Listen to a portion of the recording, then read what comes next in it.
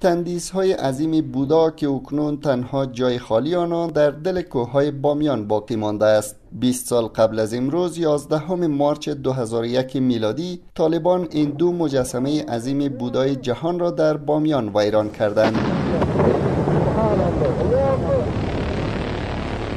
گروهی از فرهنگیان افغان امسال از بیستمین سالگرد تخریب این مجسمه ها در برنامه شبی با بودا خواستار محاکمه عاملان این رویداد شدند. فرهنگیان افغان با نگرانی خواستند که در گفتگوهای صلح با طالبان بحث حفاظت از های باستانی افغانستان درج گردد و طالبان تعهد بسپارند که در صورت تفاهم صلح بار دیگر فاجعه فرهنگی خلق نکنند. متضمن هایی که وجود داره منظورم جامعه جهانی میایه و میگه که ما می‌خوایم در افغانستان صلح را بیاریم.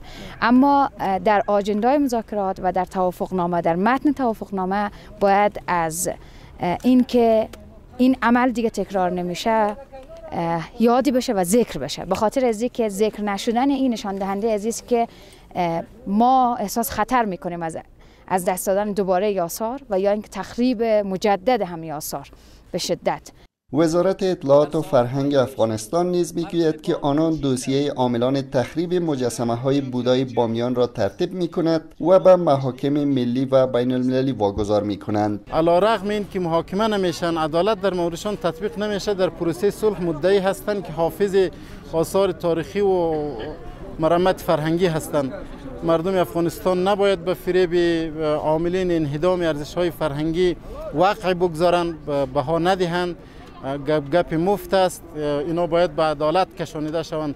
راهپیمایی اعتراضی در مقابل بودا نمایش سیبودی مجسمه سلسال برگزاری رقص سما و راه اندازی برنامه های متنوع فرهنگی و هنری چون نمایشگاه نقاشی و آثار باستانی افغانستان بخش های دیگری از این جشنواره بود. شاهدانی که تخریب تندیس های بودا را دیدند و فرهنگیان نگرانند که با رسیدن طالبان به قدرت این بار نیز این گروه بقایای این میراث های فرهنگی جهان را نابود کند. طالبان شاید به لحاظ سیاسی یک توافقنامه را انجام بدن اما به لحاظ عقیدتی و به لحاظ ایدولوژی هنوز تغییر نکردن همو در واقع تبعیضی که نسبت به در وجود اونها نهفته هست نسبت با آثار باستانی به یک شکل ایدولوژیک به این نگاه می‌کنن و نگرانی وجود داره که دوباره با تسلط اونا بر قدرت این فجایع تکرار شود او زمان که وسایل پیشرفته نبود مثلا اسکاوتور نبود چیزایی نبودن که اینا مثلا بتن از بین ببره.